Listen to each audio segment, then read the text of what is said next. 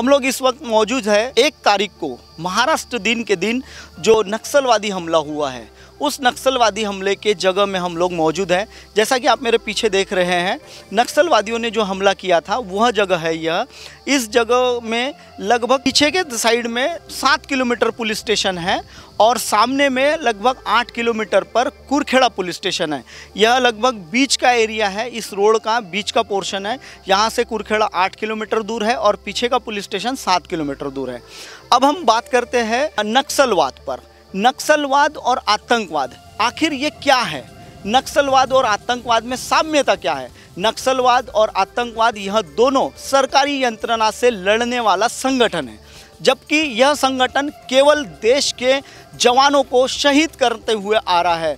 अभी तक के जितनी भी हमने घटनाएँ देखी है, इसमें केवल जवान शहीद हो रहे हैं। अभी जैसा कि आप मेरे पीछे की जो ये जो घटना घटी है, एक मई को एक मई के दिन, महाराष्ट्र दिन के दिन यह घटना को अंजाम दिया गया है। लगभग साढ़े बारह बजे के समय इस घटना को अंजाम दिया गया था और यह घटना जो घटी थी, इस घटना में पंद्रह जवान शहीद हुए थे और एक खाजगी जो वाहन था, जो प्राइवेट व्हीकल था, जिस व्हीकल से यह जवान जा रहे थे, वो जवानों का जो व्हीकल लेके जा रहा था, वो एक जो ड्राइवर था, जिसको दादू नाम से जाना जाता है, वो लड़का भी इस घटना में शहीद हुआ है। लगभग वो प्राइवेट वाहन का जो चालक था, वो भी शहीद हुआ है और पंद्रह जवान शहीद हुए हैं।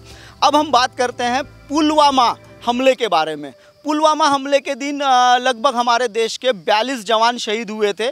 पुलवामा की घटना के ठीक पाँच या छः दिन बाद हमारे नरेंद्र मोदी प्रधानमंत्री ने अपने एक स्टेटमेंट जारी किया था। उन्होंने कहा था कि पीओके का जो इलाका है पीओके यानी जो पाकिस्तान के अंडर में कमी कश्मीर है, उस जगह का जो इलाका है, वहाँ के जितने भी आतंकवाद के जो घटना, संगठनाओं के जो अड्डे हैं उन्हें उन्होंने मिसाइल के से, यानी एयरफोर्स के माध्यम से उन्होंने उध्वस्त कर दिया, उन्हें नेस्तनाबूद कर दिया। ऐसा उन्होंने कहा था वो पीओके के इनके बारे में। अब हम बात करते हैं जो कि यह जो घटना है, यह हुई है नक्सलवादियों ने की हुई घटना है। और इसमें 366 के जवान, जो बटालियन के जवान हैं, वो 15 जवान शहीद हुए हैं। अब ये जो जवान शहीद हुए हैं, इसको लगभग आज हम जहाँ, जिस दिन अभी जो रिपोर्टिंग कर रहे हैं, आज पाँच तारीख है। पाँच तारीख यानी एक तारीख को ये घटना हुई है और ये लगभग चार दिन का समय बीत चुका है। चार दिन में आज तक के कोई भी कार्रवाई नहीं की गई है, ऐसा हमने पुराड़ा के पुलिस स्टेशन से हमें अभी जानकारी मिली हुई है। उन्होंने केवल 19 नंबर का गुना दाखिल किया गया है और दलम चार, जो दलम चार कंपनी है, उसके खिलाफ में उन्होंने मामला दर्ज किया हुआ है। यह घटना को जिन्होंने अंजाम दिया है। अब सवाल यह उठता है कि देश के प्रधानमंत्री जब आतंकवादी हमला करते हैं तो देश के जवा प्रधानमंत्री बोलते हैं कि मैंने उनके सारे अड्डों को नेस्तनाबूद कर दिया है। लेकिन आज हम ये बात पर विषय चर्चा कर रहे हैं कि हम यहाँ जिस जगह हम खड़े हैं, महाराष्ट्र सरकार क्या कर रही हैं? महाराष्ट्र सरकार ने की तरफ़ से अभी तक के माननीय मुख्यमंत्री, जो इस राज्य के गृह मंत्री भी हैं, उनके तरफ़ से अभी तक के कोई बयान आया नहीं है और ना ही उन्होंने कोई अभियान छेड़ा हुआ है। आज पाँच दिन लगभग हो चुके हैं इस घटना को। नमस्कार, मैं अभिषेक बच्चन की वॉचिंग एम न्यूज़ नक्सलवादियों ने जिस घटना को अंजाम दिया है, वो घटना जो है काफ़ी मार्मिक घटना है, क्योंकि इसमें पंद्रह शहीद जवान हो चुके हैं 366 बटालियन के पंद्रह जवान शहीद हुए हैं। जिनमें कई जवानों की तो ऐसी स्थिति है कि जिनकी पत्नियाँ जो है जिनकी पत्नियाँ चार महीने की गर्भवती है।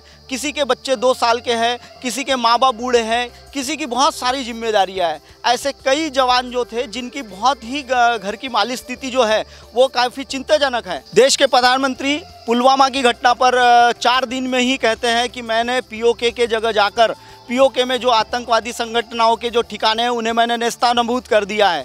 लेकिन एक मई 2019 को यहाँ ठीक 12 बजे जो मेरे पीछे आप देख रहे हैं, जो यहाँ घटना घटी है, इस घटना में अस अभी तक के जो पंद्रह जवान शहीद हुए थे, उनके बारे में माननीय मुख्यमंत्री ने एक भी स्टेटमेंट जारी नहीं किया हुआ है और ना ही उन्होंने इस घटना के बारे में कोई एक्शन लिया हुआ है।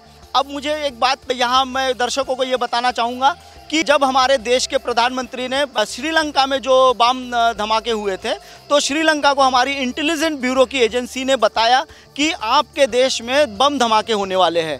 तो क्या हमारे राज्य की जो इंटेलिजेंस एजेंसियाँ हैं, वो क्या इन सारी चीज़ों से वाकिफ़ नहीं होती? या उन्हें ये पता नहीं होते कि क्या होने वाला है? घटनाएँ कैसी हो रही है, घटनाओं को अंजाम कैसे दिया जा रहा है? इस बारे में कोई भी जानकारी नहीं होती क्या?